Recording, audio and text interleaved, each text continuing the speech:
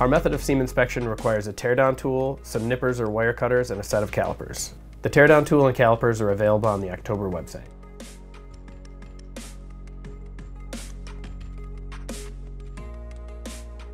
Complete the first seam operation, remove the can from the seamer, and measure the seam's thickness. When measuring the seam thickness, the caliper should be parallel to the inside taper of the can rather than parallel to the straight sides of the can. Make sure to not squeeze the caliper too tightly when measuring. If too much pressure is used, the seam will appear smaller than reality.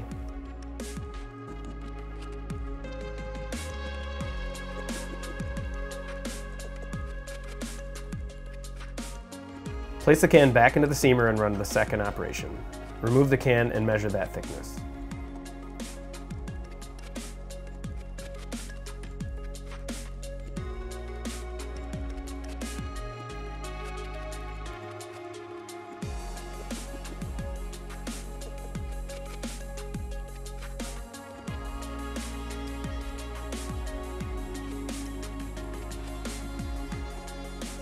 Using the teardown tool, cut off the top of the can.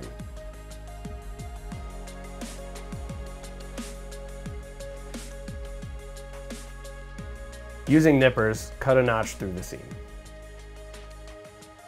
Next, pull the seam out of the can body.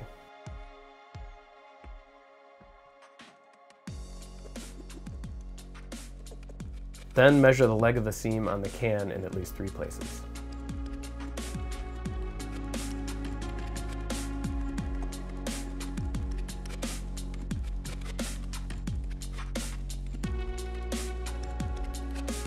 Next, measure the inside leg of the seam in three places.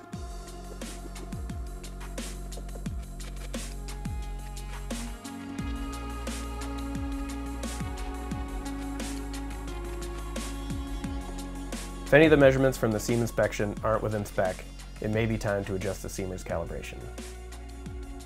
For more information, check out our other Model 7 tutorial videos.